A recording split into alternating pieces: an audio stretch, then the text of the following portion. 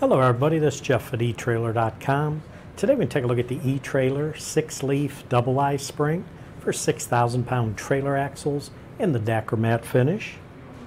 Now this leaf spring will act as part of your trailer suspension system, provides the attachment point for your trailer's axle, and the multiple leaves will allow flexibility to absorb any road shock, helps allow a nice smooth ride, helps reduce wear and tear on your trailer, and will ensure a level ride on bumpy and uneven surfaces.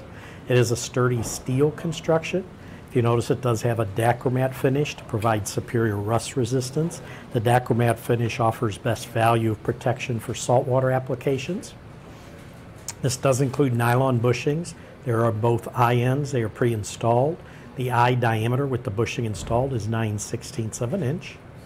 Now pre-mounted hangers or aftermarket hanger kit is required for installation. Those items we do sell separately on our website.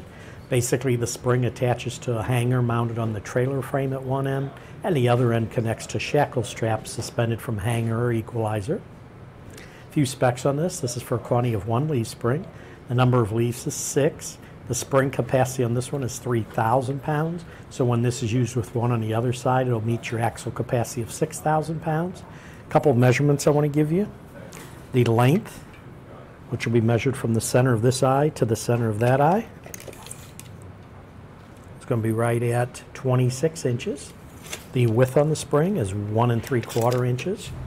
Now we do have additional dimensions on the product page of this product that'll show other dimensions if needed.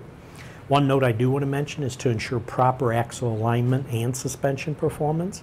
Leaf springs should always be replaced in pairs and we recommend installation by a professional.